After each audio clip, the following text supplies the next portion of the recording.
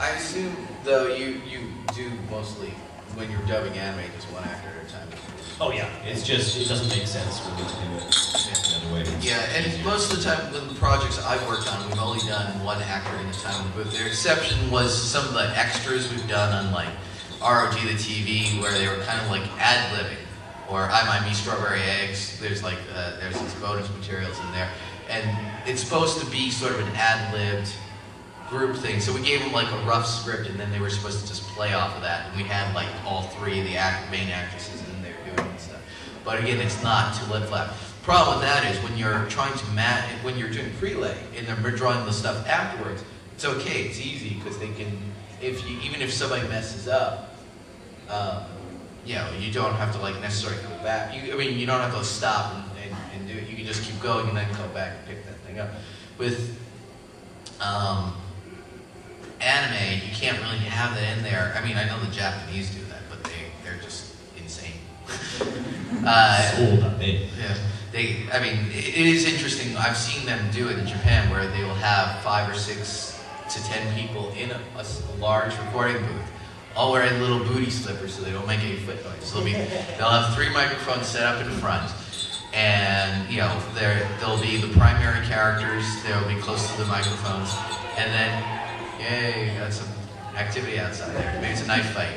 uh, and they will slowly walk up to the microphone. They'll have like headphones on, giving them cues about like wait, like one minute to your line, you know, thirty seconds to your line, something like that, so they know.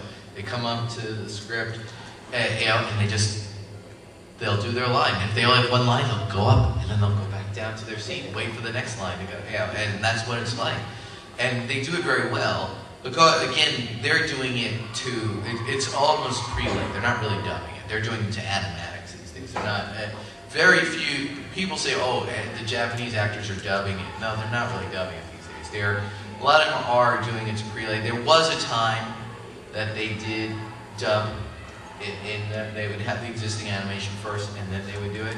But now they know they're getting the rough sketches, they're getting the the, the, the animatics, and they're working like you guys do on like X-Men Evolution or something like that. So it's it's very similar to prelay. So the only people who are truly dubbing right now are are the outside of Japan doing anime, basically. So let's see, moving on. So what else can we say that's different about the uh, Have, have you guys been taking questions at all? Or we- No, yeah, we just sort of Okay. introducing. Okay, cool. But uh, do you have questions? And so far, if anybody has a question, raise your hand. Yes, you in front. Um, I'm guessing uh, standard is like you know you all record uh, separately as individually um, Mhm. whenever you do the the recordings. Um, I guess um, does it really depend on how like um, well, let me try and rephrase that.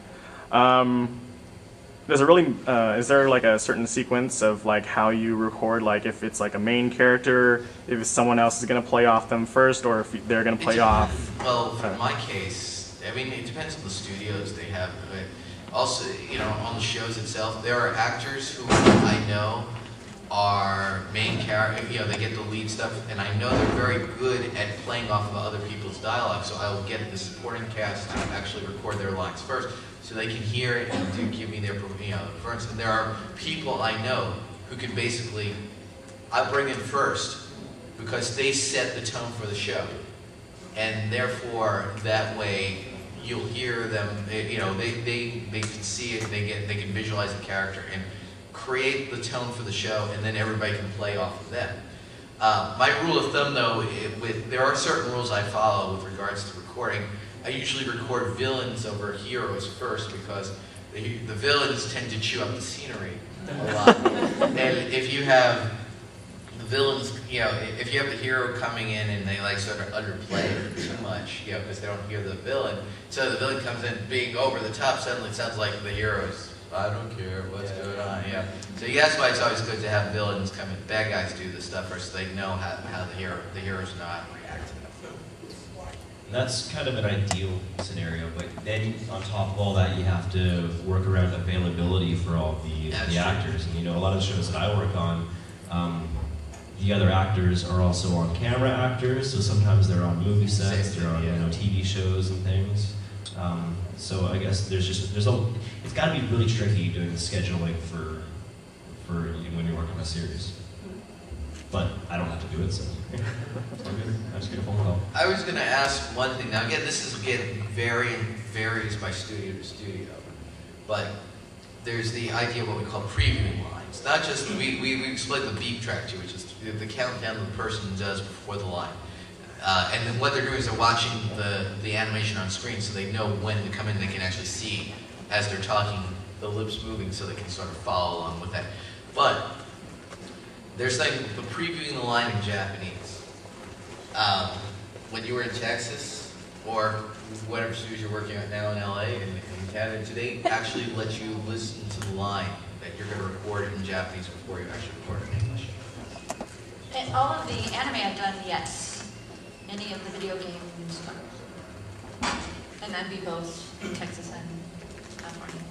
Um, I find personally, I don't want to, I don't always want to listen to too much of the OJ, the original Japanese. You know, lingo today, right? And, oh, now we're orange juice. Um, yeah, ooh, really? I can't steal orange juice from a child, especially when they're sleeping. but I will. No, thank, thank you for the offer. Um, and in Japanese, for me, is just the coolest language out there. So, you know, what we do is very different. You know, we speak English, first of all, that's probably the main difference. Um, so, and I don't usually want to watch too much of the original Japanese because it can kind of flavor your take on the performance. And as an actor, you want to be able to kind of put your own twang on on the, the, the, a voice actor, can't you tell? Getting done. On the performance of a character. Um, there are exceptions, though. Um, a big exception for me, um, if anybody's seen Death Note, if you've seen the uh, um, the last episode, I watched the original Japanese production of it probably four or five times, mostly because I was terrified. I wanted to do a good job, and I didn't want the series to end, and all that kind of stuff. So there are some times where you really want to take cues from the original Japanese. The, probably the, the most obvious example of that is if you're working on a show like I did called Dragon Ball Z, where in the script it says primal epic scream, open mouth reaction, and sometimes you'll want to watch it first to see basically how long it's going to be. And in Dragon Ball Z, sometimes it's a 30 second scream. well, you don't want to just jump in and do that and realize that you you pull up two or three seconds shy because then you're going to be doing it again. You know, so sometimes we'll watch that just to see how big these reactions are. Also in the Gundam series too, because you know it'll be open mouth reaction. Reaction, yeah. Catch. So, yeah, actually,